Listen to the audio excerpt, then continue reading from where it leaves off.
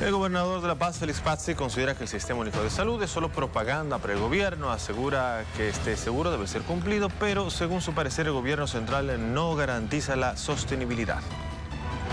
Hay que ser bien honesto. La infraestructura en todos los hospitales de tercer nivel fundamentalmente, y en Bolivia y también en La Paz, no están en condiciones, están totalmente saturados.